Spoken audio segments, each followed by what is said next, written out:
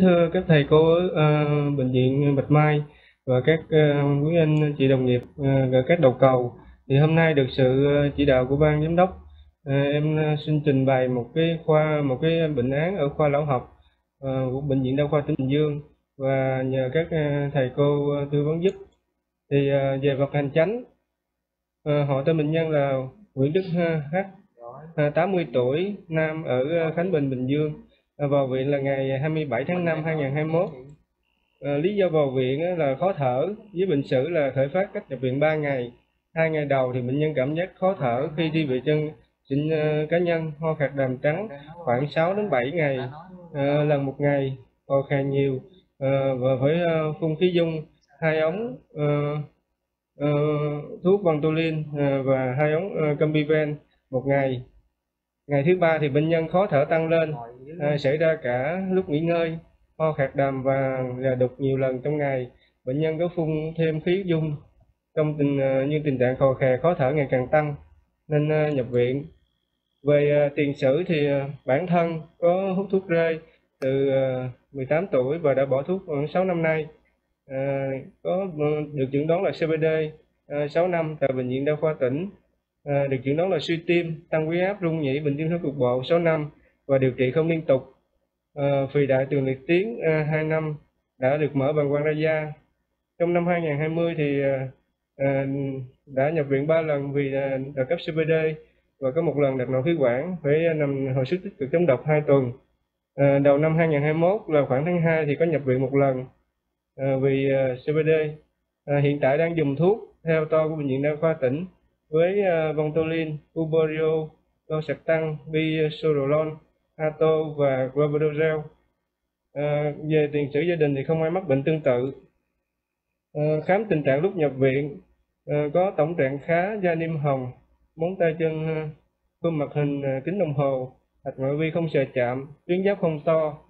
À, sinh hiệu thì mạch 130 lần một phút, nhiệt độ 37 độ C, à, huyết áp 110, à, 100 trên 60, nhịp thở là 28 lần một phút, SPO2 là 98% theo khí trợ khí phòng. Ờ, về khám lâm sàng ngày 27 tháng tháng 5 đó là, ờ, là lòng ngực hình thùng, các khoang liên trường giãn rộng, thở co kéo hô hấp phụ, nhẹ, gõ vang, à, thông khí à, giảm hai đáy, ra nổ hai bên phổi, có ra nháy hai bên phổi, khám tim thì mỏm tim đập ở khoang liên trường 5, trường trung đoàn trái, à, tim đập à, nhanh không đều, tần số khoảng 130 lần một phút của âm thổi tâm thu 4 phần 6 ở mõm tĩnh mạch cổ nổi. Khám mạch thì mạch quay mạch bạn mềm mại và rõ hai bên. À, bụng thon đều. À, tham gia đều theo nhịp thở gõ trong. Không được vùng thấp bụng mềm gan lách không sờ chạm. À, vị trí ống dẫn lưu à, mở bàng quang mở bàng quang ra da thì khô sạch. À, có nước tiểu vàng khoảng 1.000 ml một ngày hệ cơ xương khớp thì cơ teo phù mềm ấn lõm. À, không đau ở hai cẳng chân xương không biến dạng. Khớp uh, cử động trong giới hạn bình thường các cơ quan khác chưa phát hiện bệnh lý. Về uh, tóm tắt bệnh án này thì bệnh nhân này na, nam 80 tuổi vào viện vì khó thở. Qua thăm khám có các vấn đề sau. Về tiền căn có CBD được phân nhóm D suy tim bệnh tăng huyết áp bệnh tim cục bộ rung nhĩ 6 năm. Có ống dẫn lưu bằng quang ra da 2 năm do phì đại trường liệt tiến Bệnh nhân có hội chứng nhiễm trùng hô hấp như khó thở, khò khè tăng lên, ho khạc đàm nhiều và đổi màu vàng. À, có hội chứng suy tim gồm có khó thở, tĩnh mạch cổ nổi, phù chân, mõm tim lệch trái, âm thổi, à, tâm thu ở mõm 4 phần 6. Thì chẩn đoán ban đầu à, của em là đợt cấp CVD bội nhiễm một cái cộng thêm một cái viêm phổi trên suy tim độ 3, bệnh tim huyết bộ, rung nhĩ, đáp ứng thức nhanh. À, chẩn đoán phân biệt là một cái đợt suy tim cấp trên là suy tim mạng. Cộng với CD, CBD bội nhiễm bệnh tim cái cục bộ luôn nhỉ nó cũng rất nhanh. Thì uh, và điều trị từ ngày 27 tháng 5 đến ngày 10 tháng 6 thì theo phát đồ uh, như sau. Thứ nhất là thở oxy ẩm 2 lít một phút kháng sinh thì kết hợp hai kháng sinh là ceftriaxone uh, à, 1 gram hai lọ uh, ciprofloxacin 400 mg Ờ, 2 chai một ngày methylprednisolone Zolon 40mg một lọ ờ, 7 ngày. À, Reganin 0,5 1 phần 2 ống nhân 2 cũng 7 ngày. Furosemid à, một ống một ngày. Uh, acetylcysteine một gói nhân 3 lo sập tăng một viên uh, clovera một viên ditrazem một viên nhân 2 vantolin một ống nhân 3 mỗi 4 phun khí dung mỗi 4 giờ. Uh, combiven thì một ống nhân 3 mỗi 4 giờ. Thì à, kết quả à, cận lâm sàng của ngày 27 tháng 5 à, thì ta thấy rằng công thức máu bạch cầu là uh, 9.500 cũng không có dấu hiệu tăng. Và cái neutrophil là chiếm đa số thiếu máu nhẹ các cái đông máu bình thường. Ờ, các cái chỉ số sinh hóa thì ờ, gan thận bình thường chỉ có cái natri hơi thấp là 129 à, ờ, xét nghiệm khí máu thì à, có BO2 hơi giảm nhẹ à, 67 mm trên ngân thì à, đo kết quả của x quang à, có bóng tim hơi to mỏng tim lệch trái thâm nhiễm vùng đốn phổi à, hiện tim thì có rung nhĩ đáp ứng rất nhanh. À, thỉnh thoảng có cái uh, những lệch hướng. À, siêu âm bụng thì uh, uh, nốt vôi tiền liệt tuyến uh, có uh, uh, tiền liệt tuyến vị đại 60 ml tràn dịch màng phổi hai bên lượng ít. Kết quả siêu âm tim là không tràn dịch màng tim giảm động vùng vách mõm giãn nhĩ trái nhĩ phải ở van hai lá 3 phần tư ở van ba lá 4 phần tư áp lực động mạch phổi là 45 ml thiên ngân à, ờ, công suất tống máu là 45 phần trăm. Và định lượng RBNP có 1912 kg ml về ờ, diễn tiến ờ, lâm sàng và điều trị trong 14 ngày từ ngày 27 tháng 5 đến ngày 10 tháng 6 như sau. Thì trong 12 ngày đầu thì bệnh nhân có bớt mệt bớt khó thở bớt khò khè giảm ho đàm ăn uống kém ranh rít rinh ngái giảm. Uh, ngày ờ, thứ hai ngày sau cuối đó là ngày 13 và ngày 14 thì bệnh nhân có sốt 38 độ 5 huyết áp 10 trên 6 mạch tăng lên 140 lần phút SPO2 giảm ờ, 83% trên thở 2 lít phút. Thở co kéo hô hấp phụ tần số 25 lần phút và đặc biệt là có tiểu máu đỏ tươi ra ống dẫn lưu nước tiểu ở bàng quang ra da thì à, với xử trí ban đầu là sẽ cho bệnh nhân thở vi bóp và đặt xong dạ dày nuôi ăn, xét nghiệm tổng quát. Có mời bác sĩ ngoại niệu để khám. Thì bác sĩ ngoại niệu chẩn đoán là viêm bàng quang xuất huyết trên một cái à, u sơ tiền liệt tuyến nên cho rửa bàng quang. Và lúc này cái cái đờm ban đầu về thì nó ra cái con acinobacter ờ, và chúng ta sẽ đổi kháng sinh theo kháng sinh đồ đó là ami, ampicillin sulfaptam và amikacin thì ờ, đây là kết quả của ngày 10 tháng 6 thì uh, kết quả này chúng ta thấy uh, cái bạch cầu uh, và cái chỉ số viêm thì cũng không có đáng kể. Uh, có cái đó động đông máu với INE là 1.85 uh, gan thận thì bình thường có cái natri thấp là 125 và khi mà tổng phân tích nước tiểu thì có nhiễm trùng tiểu với leukocyte là 500 tiểu đạm và tiểu máu. Xét nghiệm khí máu thì có ờ, uh, BCO2 tăng và BO2 giảm. Thì bệnh nhân đã được xử lý là thở vi bát. Uh, đo điện tim lúc đó thì cũng còn rung nhĩ đáp ứng rất nhanh. Uh, đây là cái tiết quang thời điểm uh, ngày 10 tháng 6 thì cũng còn thâm nhiễm. Ờ, hai đống phổi và cái ờ, phiếu này là phiếu ờ, kháng sinh đồ.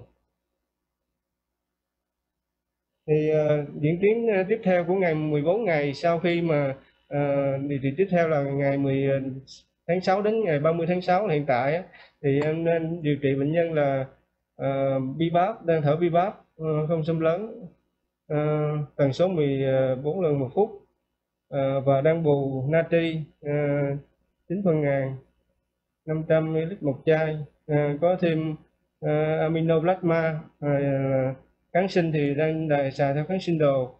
À, và um, bantorazone lo sạch tăng uh, verosperon uh, à, digoxin uh, thêm digoxin và uh, dithiazem uh, cộng thêm là cái transamin vì bệnh nhân đang chảy máu uh, đường uh, tiểu. Thì uh, Ờ, kết quả ngày à, 30 tháng 6 ờ, là ngày hôm qua thì em có làm lại thì à, phản ứng ờ, công thức bạch cầu thì cũng không cũng ổn định không có phản ứng viêm. Kết rối loạn đông máu thì vẫn là 1,85 à, có cái natri hơi thấp là 113 thấp nên thấp nhiều. Và khí máu thì được ổn định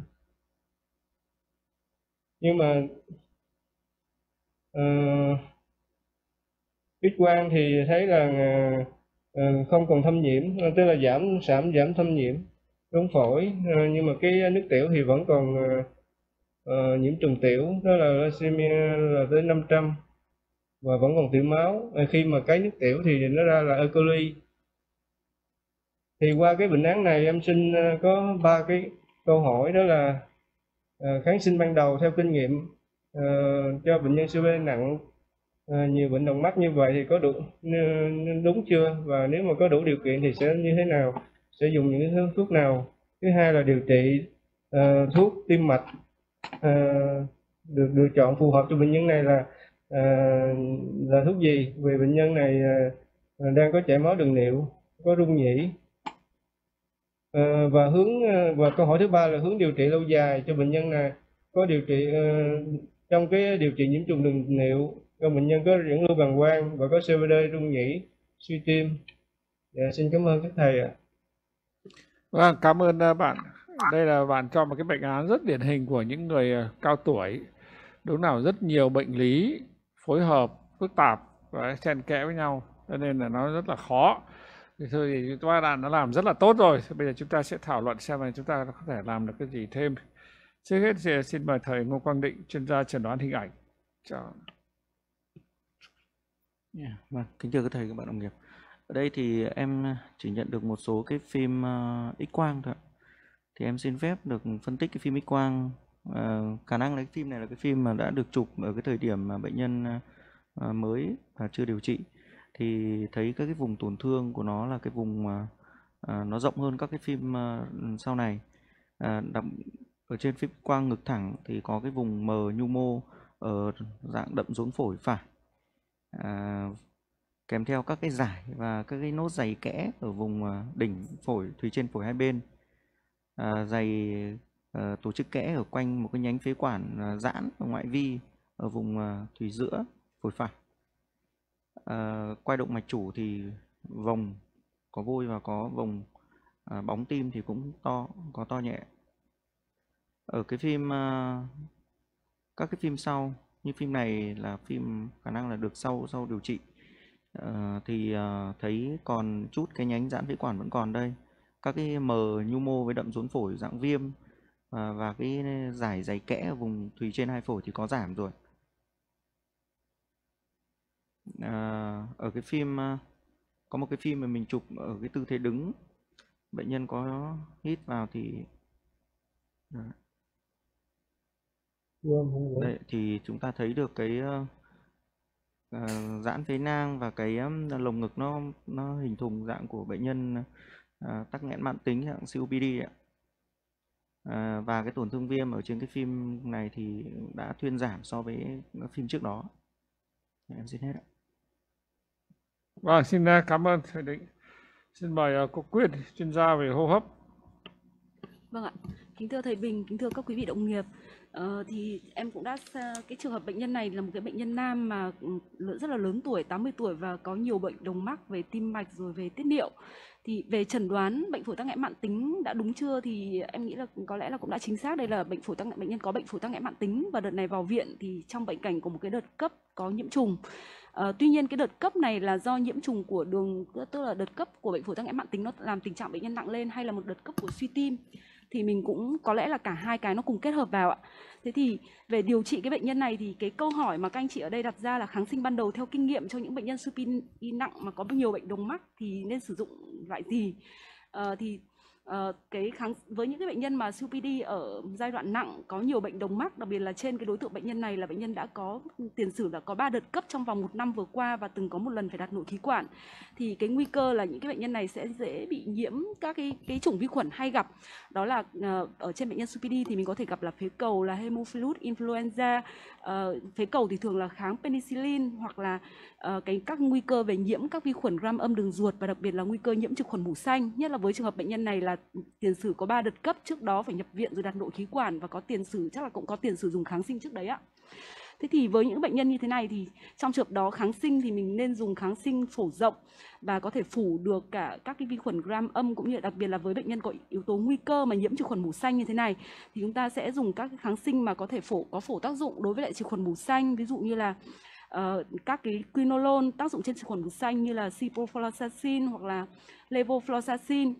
Ờ, các cái cephalosporin à, các cái kháng sinh beta lactam có tác dụng trên trực khuẩn mủ xanh ví dụ như ceftazidime hoặc là có thể là cefepime hoặc là piperacillin phối hợp tazobactam hoặc là các cái carbapenem mà thế hệ 2 như là imipenem hoặc là meropenem uh, kết hợp với lại quinolone thế thì Uh, với cái bệnh nhân này thì em thấy là lúc đầu vào tiên vào thì các anh chị cho dùng kháng sinh là rosefin kết hợp với ciprofloxacin thì em nghĩ là như thế là cũng phù hợp đối với lại trường hợp bệnh nhân này.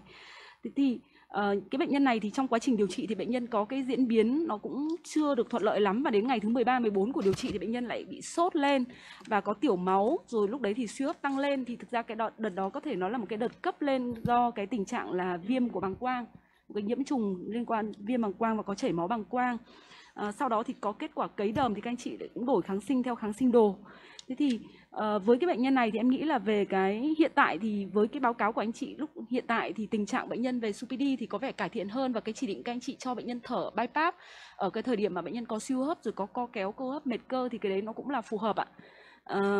Đối với lại cái phim x quang phổi thì ờ, cái hình ảnh x quang ban đầu ấy thì thấy chủ yếu là cái rốn phổi như bác sĩ định đã phân tích là cái rốn phổi nó rất là rộng ở cái bên phải và nó có dày tổ chức kẽ, nó có thể là phối hợp lúc đó là kèm theo cái tình trạng có thể là ứ huyết ở phổi liên quan đến cả cái suy tim nữa.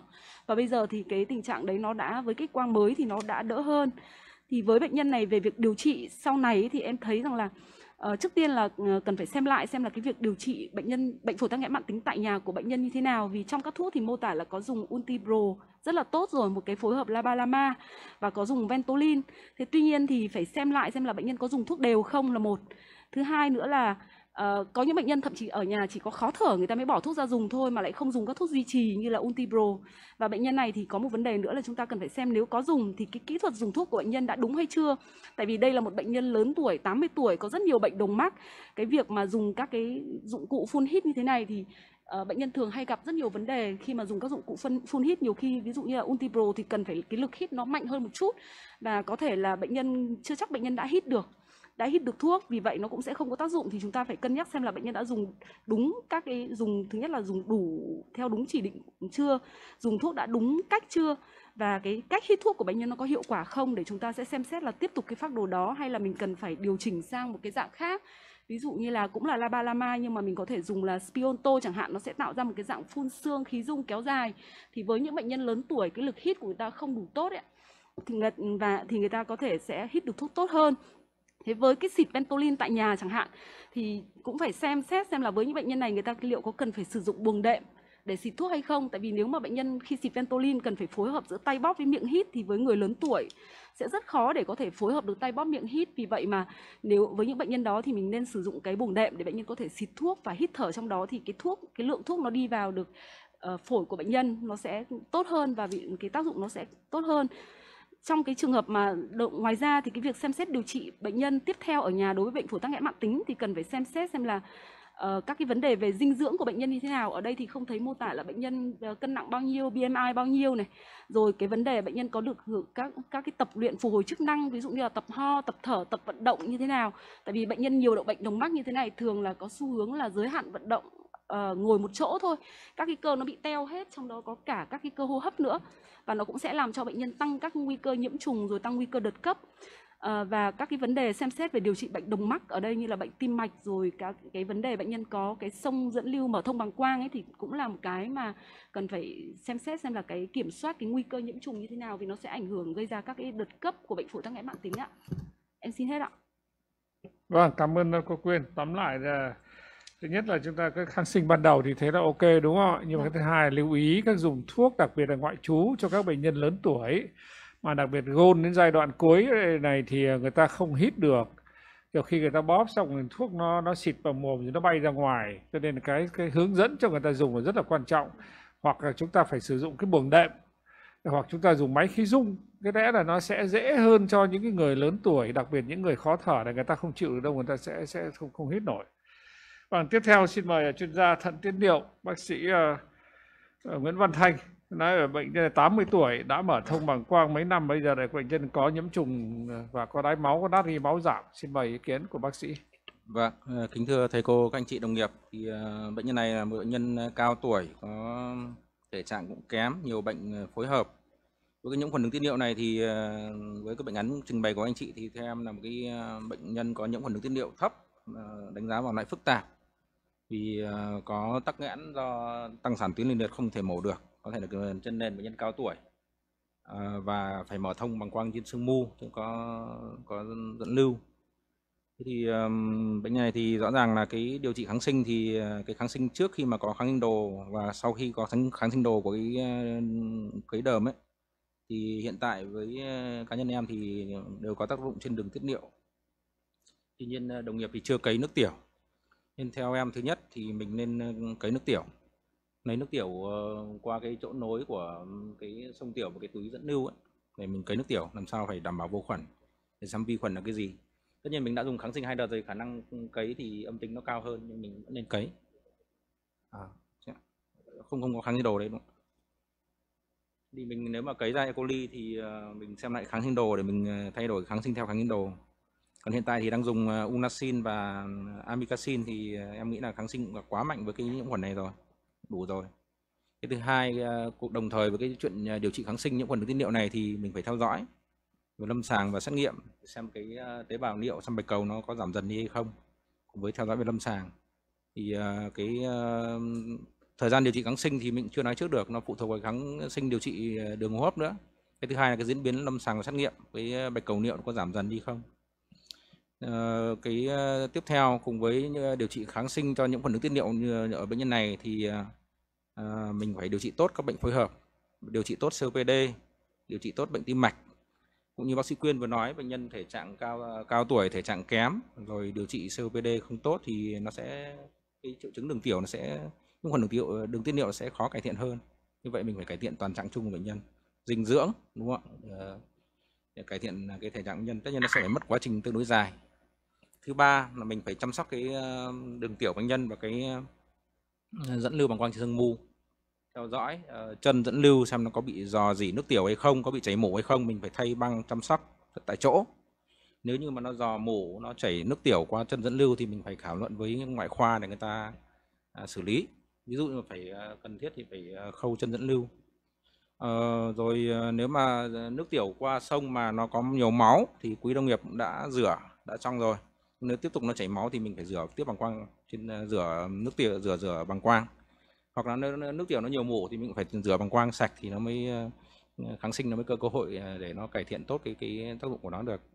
Như vậy mình phải ngoài cái điều trị kháng sinh theo tôi nghĩ là cái kháng sinh này thì cũng đã được tốt rồi. Còn nếu mà kháng sinh đồ về mà E. coli nó đa kháng thì lúc ấy mình phải thay đổi kháng sinh. Ví dụ như mình cần phải uh, cả ba PNM hay một cái kháng sinh nào đó thì theo kháng sinh đồ. Và kết hợp với cái điều trị các bệnh phối hợp. Và cái thứ ba là mình chăm sóc tại chỗ thật tốt cho cái sông tiểu cái dẫn lưu bằng con sương mu tránh nó nó nhiễm trùng nó sẽ nặng nề hơn. Ờ, ví dụ như là nếu nó cần thiết thì mình phải thay cái dẫn lưu như nó đặt lâu rồi đúng không? Có nhiều mổ thì mình phải thay cái dẫn lưu bằng con sương mu thì mỗi mình sẽ phối hợp với ngoại khoa. À, em xin hết ạ. Vâng xin ờ, cảm ơn bác sĩ Thanh. Xin mời chuyên gia tim mạch. Bác sĩ Phạm Thị Tuyết Nga vâng kính thưa thầy Bình và kính thưa các ờ, đồng nghiệp ạ.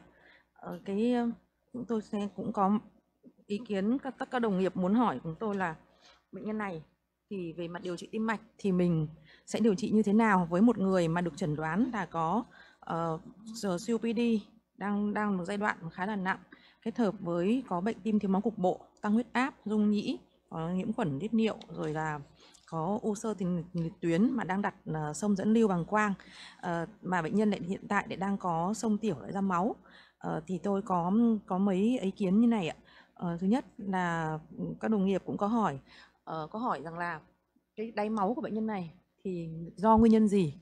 uh, thì chúng ta thấy là cả một cái quá trình thì ờ, bệnh bệnh nhân này có dùng chống đông từng đợt. Lúc đầu thì có dùng clopidogrel. uh, tôi thấy là dùng được có mấy hôm thì sau đó bệnh nhân lại có đáy máu.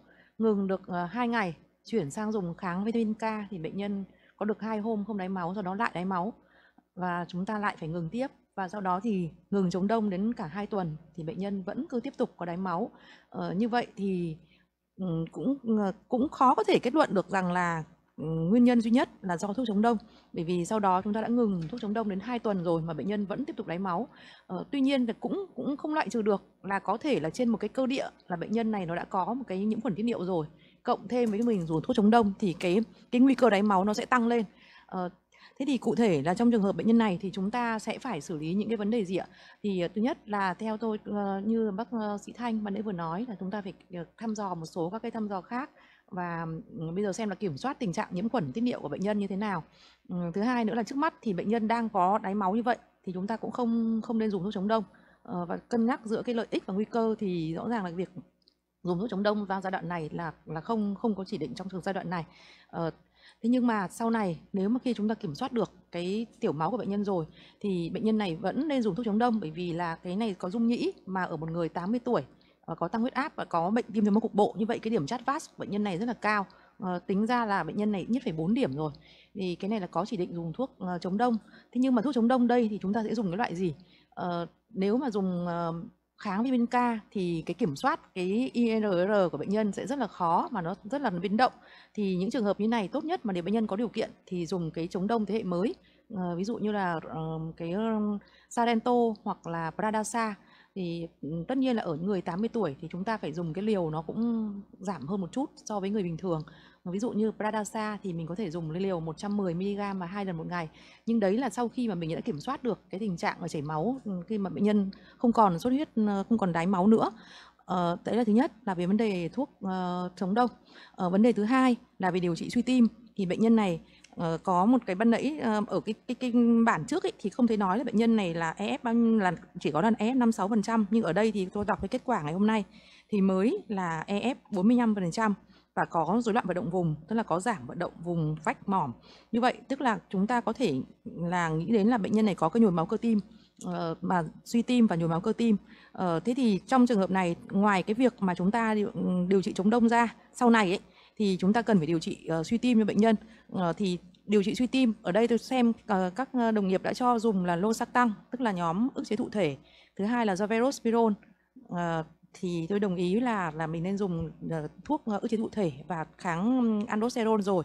Uh, nhưng mà còn về vấn đề là khống chế nhịp thất vì bệnh nhân này nhịp tim rất là nhanh. Uh, tôi thấy nhịp tim là trên uh, thì nói là có đến 130 chu kỳ trên phút mà mình dùng kết hợp digoxin và diltiazem Ờ, trong trường hợp này thì lại không nên dùng diltiazem bởi vì là cái EF nó có 45% thôi. Mà vì diltiazem thì lại không không dùng không nên dùng cho bệnh nhân có suy tim uh, vì nó sẽ làm giảm cái co bóp của cơ tim. Uh, như vậy thì nếu mà để khống chế tần số thất trong trường hợp này thì chúng ta có thể phối hợp giữa digoxin với lại cortisone chứ chúng ta không không nên phối hợp với diltiazem uh, ờ, còn về điều trị suy tim ấy, nếu như mà uh, bệnh nhân có điều kiện thì chúng ta dùng cái sang cái nhóm mà mới bây giờ để điều trị suy tim ấy nếu mà có điều kiện tức là cái dùng cái uperio ấy tức là, tức là kết hợp của cái um, sacubitrin kết hợp với van sắc tăng ấy. Thì chúng ta nếu mà có điều kiện thì dùng cái đấy. Còn nếu không thì thôi chúng ta dùng cái ức chế thụ thể đây thì cũng được. Ờ, và bên cạnh đấy thì vì bệnh nhân này có một cái nhồi máu cơ tim thì chúng ta phải điều trị thêm với lại cái statin nữa. Ờ, ví dụ như là Crestor hoặc là Lipitor. Ờ, vâng. Thế tức là tóm lại là ở bệnh nhân này thì theo theo ý kiến của tôi ấy, thì bệnh nhân này sẽ là khi mà chúng ta đã khống chế được cái tình trạng uh, tiểu máu của bệnh nhân thì chúng ta sẽ chuyển sang dùng thuốc chống đông. Mà nên dùng cái thuốc chống đông thế hệ mới bởi vì cả hai thuốc chống đông kia chúng ta đã sử dụng rồi cả clopidogrel và kháng vitamin K thì nó đều có vẻ như là có liên quan đến việc chảy máu. Thì chúng ta nên sử dụng các thuốc chống đông thế hệ mới khi mà đã kiểm soát được cái tình trạng chảy máu đường tiêu đường đường tiết niệu. Uh, thứ hai nữa là về thuốc um, suy tim thì chúng ta dùng dùng ức chế men chuyển hoặc ức chế thụ thể kháng aldosterone digoxin và kết hợp với cortisone để khống chế tần số thất.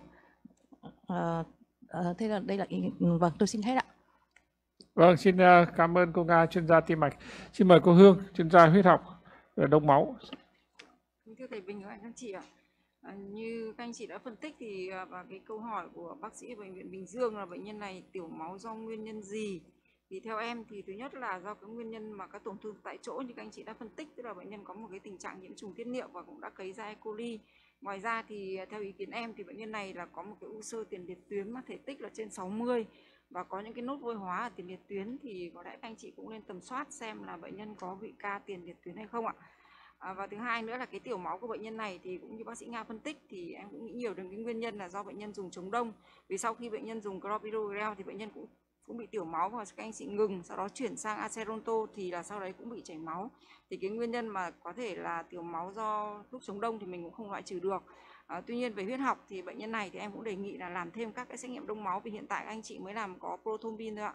Em đề nghị làm thêm cái APTT, fibrinogen và dimer và nếu được thì à, làm thêm cả đo độ ngưng tập tiểu cầu cho bệnh nhân ạ để xem có tổn thương gì về bệnh máu hay không ạ. Em xin hết ạ. Vâng, cảm ơn cô Hương. Đây, các bạn thấy nhờ các chuyên gia phân tích thì chúng ta thấy là rất là phức tạp, có rất là nhiều thứ, đúng là bệnh phổi mãn tính rồi nhiễm trùng rồi bệnh có có lẽ có cả cái nhồi máu cơ tim cũ từ bao giờ đúng không ạ? Thế có rối loạn vận động vùng rồi, bây giờ còn nhịp nhanh, rồi, dùng nhĩ đáp ứng tần số thất nhanh, rồi nhiễm trùng đường tiểu do chảy máu. Và bây giờ hiện nay do các vi khuẩn mà thường các vi khuẩn bệnh viện này thường nó liên quan đến vi khuẩn đa kháng đấy các bạn ạ cho nên cố gắng làm cái kháng sinh đồ chúng ta cố gắng chọn lựa chọn các cái thuốc nào mà cho nó cho nó phù hợp. Đặc biệt là khi các bệnh nhân ra ngoại trú rồi thì các cái vai trò của các cái thuốc đường hít liên quan đến sự quản lý COPD thì phải rất là cẩn thận hướng dẫn bệnh nhân kiểm soát người ta cho làm sao cho nó dùng cho nó có hiệu quả.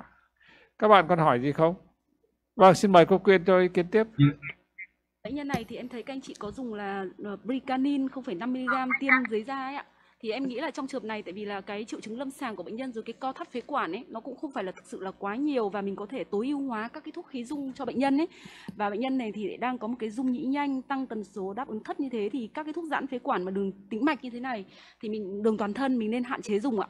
Với lại cái bricanin, thứ hai nữa là bệnh nhân này cũng nên xem xét lại cái vấn đề cân bằng dịch của bệnh nhân, xem là cái hạ natri máu đấy của bệnh nhân liệu có phải là do liên quan đến bệnh nhân thiếu thực sự hay nó là do vấn đề pha loãng trong bệnh lý hoặc là trong bệnh lý tim mạch hay không cái cân bằng dịch như thế nào vì là bệnh nhân cũng lớn tuổi mà có suy tim thì em thấy là trong cái điều trị thì mình cũng đang dùng là natri truyền 500ml này aminoplasma 500ml này rồi kháng sinh truyền thì mình cũng có pha này Ờ, thì mình cũng nên xem lại cái cân bằng về dịch vào da của bệnh nhân trên bệnh nhân lớn tuổi mà có kèm theo suy tim như thế này ạ. Ờ, em xin hết ạ. Vâng, xin à, cảm ơn. Mời thầy Thanh có bổ sung gì Vâng, không? cái bệnh án hôm qua ờ, trung tâm đào tạo có gửi qua cái email thì em có thấy các đồng nghiệp có hỏi là đáy máu ở đâu ra?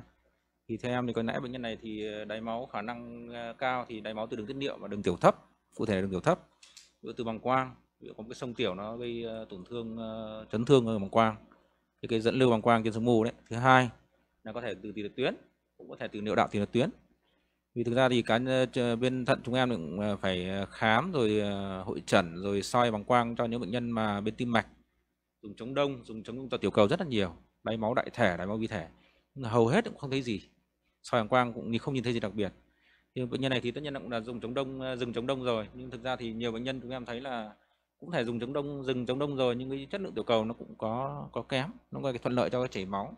Mà chân nền bệnh nhân thì một là bệnh nhân này có sung tiểu, có nhiễm khuẩn nó làm cho cơ địa dễ chảy máu. Cái thứ hai là những bệnh nhân mà tiền liệt tuyến ờ, bệnh nhân này thì các đồng nghiệp chẩn đoán tăng sản lành tính, cũng có thể loại trừ thêm cái ung thư như ờ, bác sĩ Hương vừa nói. Thì cái niệu đạo tiền tuyến mà em soi lên thì thấy cái nó tăng sinh mạch máu khá là rõ. Kể cả cái tăng sinh lành tính thì trên một cái cơ địa mà bệnh nhân có dùng chống đông rồi dùng chống tập tiểu cầu thì nó vỡ những cái mạch máu, cái niệu đạo tiền tuyến ra. Thì thực ra thì nếu mà thăm dò thêm thì ngoài cái chuyện cấy nước tiểu làm kháng sinh đồ thì mình có thể làm thêm PERA tất nhiên PERA trường hợp này làm thì nó khả năng nó vẫn tăng hơn bình thường. Vì có một là có tăng sản lành tính của tiền tuyến thì tiền tuyến PERA nó tăng. Hai, có dẫn lưu, có những phần đường tiểu thì nó tăng. Thế nếu làm PERA xong thì mình có thể thăm trực tràng cái để xem cái tiền tuyến thế nào, có đúng là lành tính hay có nghi ngờ ung thư hay không. Tất nhiên nếu mà chẩn đoán ung thư trên bệnh nhân này thì khả năng điều trị cũng khó khăn, cũng khó khăn. Thì mình biết thêm cái tiên lượng. Đó thì là cái ý kiến thêm của em ạ. Vâng, cảm ơn uh, chuyên gia thận tiết niệu. Các bạn ở đầu cầu Bình Dương còn hỏi gì không? Dạ, ờ, dạ cảm ơn các thầy ạ. Dạ, dạ con hiểu. Tóm lại Dạ là bệnh nhân này phải cái COPD cho nó tốt và ưu tiên tối ưu hóa các thuốc qua đường khí dung hạn chế các thuốc qua đường tĩnh ờ, đường chuyên truyền đặc biệt là nhóm pregabalin cái đấy nó làm nhịp tim nhanh hạ kali máu à, tôi hỏi thấy bệnh nhân khó thở như thế thì cái, cái mạch đảo nó bao nhiêu hả em? Có đo được không? Đo. Dạ chưa không có đo được rồi thầy? Cái mạch đảo đo dễ mà lấy cái băng đo huyết áp cái ống nghe thì đo được cơ mà. Nếu mà các bạn cứ thấy co thắt mà nó liên tục thì rất cảnh giác với lại nấm. COPD mà dùng kháng sinh nhiều chúng ta phải rất cảnh giác với lại nấm. Đấy chúng ta có thấy bệnh nhân co thắt cái tăng liều thuốc mà giãn phế quản mãi lên mà cứ thấy mạch đảo nó cao mình phải rất cảnh giác với nhiễm nấm. Cái đấy thường xuyên gặp lắm đấy các bạn tìm thêm xem. Dạ. Rồi cảm ơn các bạn đã có một cái bệnh án rất là khó và rất là hay. Thế thì cũng qua các ý kiến các chuyên khoa thế thì các bạn có còn ờ, thảo luận gì thêm không? Dạ không ạ. Rồi cảm ơn các bạn à, thưa các thầy cô và các bạn trong buổi chiều ngày hôm nay thì chúng ta kết thúc sớm cảm ơn các thầy cô các bạn đã tham gia các cái buổi thảo luận rất là sôi nổi với các bệnh án rất khó và rất hay hy vọng là chúng ta sẽ học được ờ, nhiều hơn và giúp được nhiều hơn cho người bệnh. Xin cảm ơn tất quý thầy cô, các anh chị và các bạn các đầu cầu. Xin hẹn lại ờ, thứ năm tuần sau. Xin cảm ơn.